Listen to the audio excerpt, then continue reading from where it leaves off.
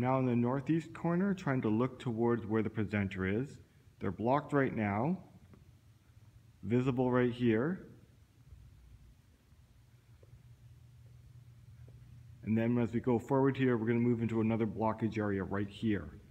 So if we had a screen over where that window is that I'm looking at right now, we can sort of help resolve that, but there is obviously some pretty ugly sightline issues.